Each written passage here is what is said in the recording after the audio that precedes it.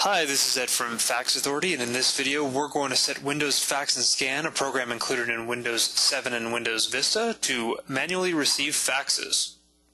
For more on Windows Fax and Scan, as well as faxing with your computer, there's much more information available on our website, faxauthority.com.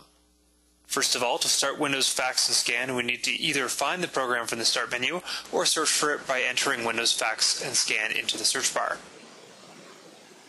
When we click on the program, it will start up on the computer screen. The program should already be configured to be working with your fax modem. To change the settings so that the program can only answer faxes manually, we'll need to go to Tools and then Fax Settings. Under this screen, we'll need to make sure that Manually Answer is selected. This will make it so that whenever the phone line rings, you will need to go to your computer and press the Receive Fax Now button. This will make the fax modem on your computer answer the phone line and receive a call as a fax machine.